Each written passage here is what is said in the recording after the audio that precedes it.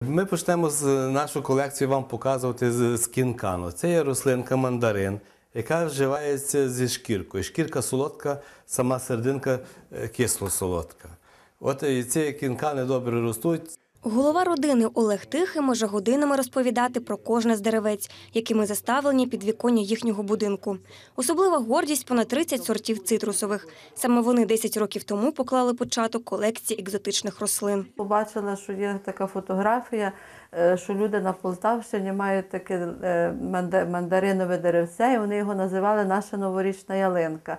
Що вони замість ялинки брали собі це новорічне деревце, яке було вкрите повністю мандаринками. Десь там їх було до 150 штук. І е, мене це дуже захопило. Тепер у тихих п'ять сортів мандаринів, понад 20 лимонів від маленьких до кілограмових, а ще апельсини, банани, гранати, кавове дерево, інжир, суничне дерево і багато декоративних рослин.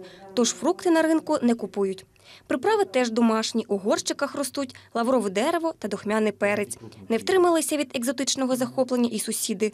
У їхніх вікнах теж видно цитрусові деревця. Ці лимони є дуже плодючими, які є прикрасою для кімнати. В них дуже чудовий запах. Вони нам дуже подобаються, вони є дуже корисними. Нам пан Олег подарував ці лимони, якими ми дуже сильно задоволені. Друзі та знайомі родини тихих знають, найкращий подарунок для них щепи та гілочки цитрусових. Тож у будинку селекціонерів ростуть лимони, мандарини й апельсини, привезені з Італії, Португалії, Іспанії, Грузії, Росії, Греції та навіть країн Африки.